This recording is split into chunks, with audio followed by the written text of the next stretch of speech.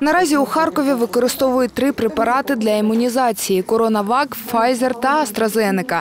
Про це повідомила віце-мер Світлана Горбунова-Рубан. Місто отримає додатково 4200 доз німецької вакцини Pfizer та вже завтра продовжать нею щеплення. Всего по городу получили вакцину 34 499 человек, две дозы 9 874 человека.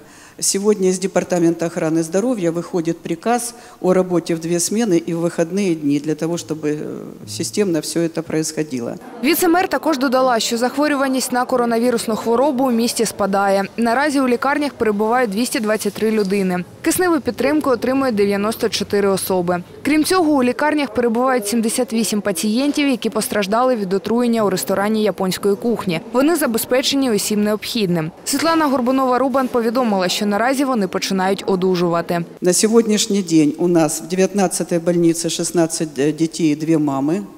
Э, Чувствуют себя все лучше, и завтра уже будем решать, кого из них можно выписать. 31-я больница 40 взрослых, 9 идут на выписку. Э, Третья больница 8 взрослых, это самые поздние, пока о выписке не идет речи. В Валках осталось 14 взрослых. Юлія Біла та Віктор Ноздрачов. Харківські ізвістія.